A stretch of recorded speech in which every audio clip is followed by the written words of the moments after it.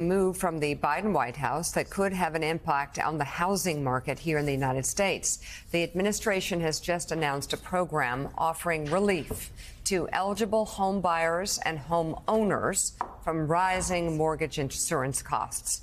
The program is expected to benefit 850,000 families this year alone, with average savings of $800 per year.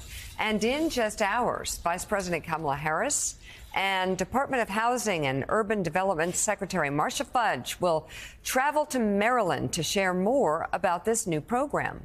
And before that, Secretary Fudge joins us now with the exclusive details. It's great to have you on the show this morning. This uh, program sounds really promising. Uh, if you could explain more, Madam Secretary, on how this will uh, help future homeowners and current homeowners. I'm happy to. Thank you so much for having me. What we know is that as prices have continued to rise over the last few years, that fewer and fewer people are buying homes. And so what we thought, the president and vice president said, look, everybody try to find a way that we can relieve some of the financial burden that people are facing every day. So it came to us that persons who are not able to put down at least 20% on a mortgage mm-hmm. are charged what we call a mortgage insurance premium. And that premium can go from anywhere from $100 a month to $1,500 a month. It depends based upon the cost of the home. So that may be just that uh, enough to keep them from purchasing a home. And we said, well, why are we doing this? Because we already have in reserves for losses five times what Congress has asked us to hold.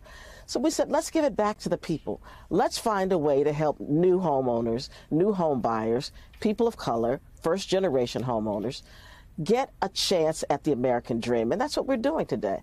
We're but saying we're going to reduce that amount by I, am curious, you're going to reduce that amount by because um, some of the numbers I'm looking at just I still think a lot of people will be locked out of the process. Is it going to be enough to help hmm. people get into homes? Oh, absolutely.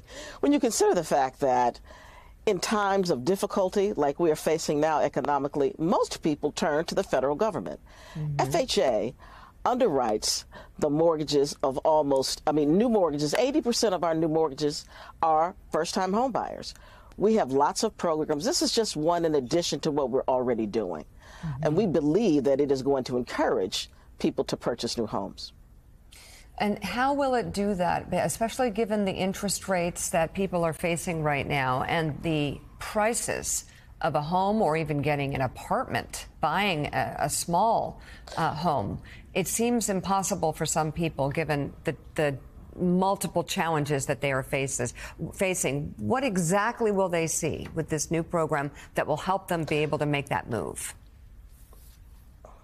I would suggest to you two things. One is that rent today is so high mm-hmm. that it mm-hmm. probably less expensive to purchase than it is to rent. Because most people who can pay their rent clearly can pay a mortgage. What we are trying to do is on the front end assist them with getting into a new mortgage. And first time home buyer, buyers especially need help. Right. So if we can save them anywhere from you know, $100, $800 a year up to $1,500 a year, that is significant because the margins are so small for first time home buyers. So we know that if we reduce this by 30 percentage points and reduce it to a place that people can afford it, it makes a world of difference for those who are just barely getting by. Secretary Fudge, good morning. It's great to have you back with us. Um, I'm just looking at the home ownership rates over the last couple of years, and it looks like they've gone up across racial demographic groups, uh, and, and, actually more among black and Hispanic homeowners than even among white homeowners. To what do you attribute that? That more people lately, just in the last few years, are able to buy homes? Obviously, the interest rates were low for a long time there and have gone up since, but what else is going on there? We are making sure that people who have student debt no longer are treated unfairly. It was our practice at FHA in underwriting that if you had student loan debt, it was weighted much higher than any other kind. And who has student loan debt? Black people, brown people, poor people.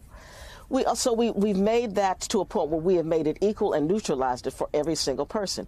We've also said that for people who had been deemed uncreditworthy, which many of them are first time buyers, they are people of color, or they are poor, they'll say, You have no credit.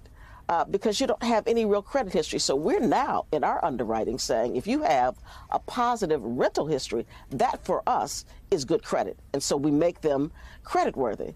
We as well are assisting with a number of other things, but those are the two big ones.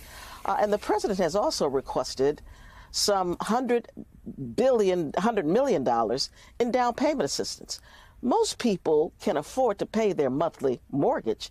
They don't have the upfront resources. And so we are working with buyers on that. So a number of things have happened that have encouraged people of color and, and new home buyers to get into the market.